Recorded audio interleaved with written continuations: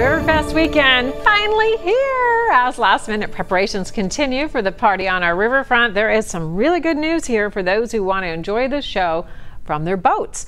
Local 12's Christian Hauser live with that information and more on the plans for the Big Bash. I am so happy to hear this reversal we're going to be talking about, Christian you and thousands more across the tri state. Paula, I was there when the Coast Guard made the announcement earlier today, and you could tell that they were just happy to give these boaters the chance to come out here and enjoy the show on Sunday.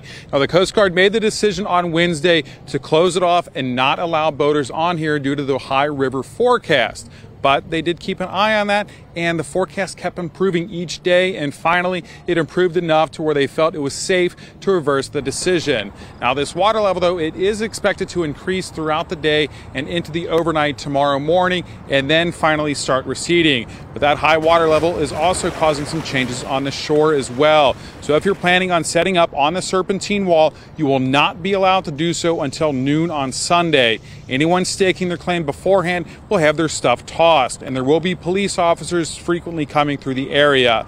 Now, for the boaters, the Coast Guard will have two boats on the water in addition to what is out there locally. And remember, just because it's back on doesn't mean there are not dangerous conditions possible. Not being able to provide that level of safety to the public uh, led us to make the decision to not allow vessels to be on the water during the Riverworks, uh, Riverfest fireworks and to simply allow folks to watch from the shore. But with these updates and the ability to actually be out there and respond in case there is any type of uh, incident on the water, it, uh, it allows us to proceed as, as traditionally remembered by the, the folks of Cincinnati.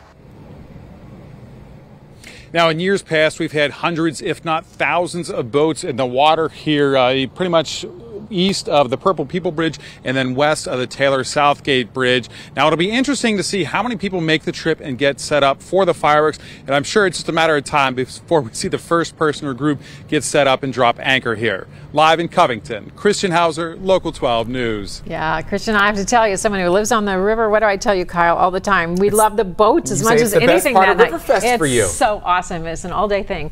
If you don't plan to head to Riverfest by boat or car, don't forget you can watch the fireworks from home. Yes, that's the best seat. Local 12 will broadcast the show beginning at 9. The show in the sky will start just a few minutes later, but be there by 9 yeah, because you don't want to miss a no, moment no, of no. this incredible show. Mm -hmm.